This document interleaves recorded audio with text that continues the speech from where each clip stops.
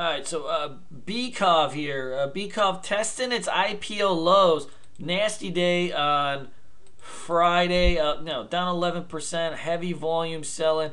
Uh, I think that this one's got more potential downside to it, especially if the market's getting starts to get weak. Um, a stock like this could really get flushed, especially breaking down to IPO lows. Uh, Baidu, this one looks pretty weak too. Um, I would keep this on watch for potential day trades and stuff like that. You know, it's starting to get a little bit oversold, so it could bounce back at some point uh, relatively quick. But look at the volume distribution the last few days. You know, this one's definitely got lower prices in the cards. And then um, FIO, you know, after running to 32, right, we've just had a straight, straight dip. It looks like we just had a, a, a quick relief bounce back to the 200-day moving average.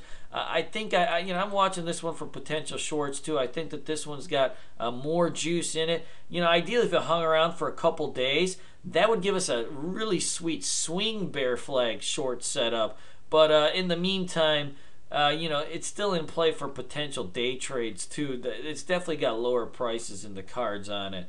So uh, that's it for now, guys. Uh, it's been a little bit of tricky trading the last couple weeks, and uh, that's kind of how it goes, right? Because we're right now in a, in a slightly trendless environment the last week or so, uh, where we've just been stuck in this range, right? Where we just kind of you know the rips are getting faded but the dips are getting bought you know at support but barely and it's so it's been a little bit choppy but uh, this should resolve itself um, this kind of this sandwich that's been going on uh, should resolve itself this week and that'll kind of give us a clear picture on uh, where we can go and what we should do uh, till then. I, I, don't have any particular predictions you know as a real short-term trader.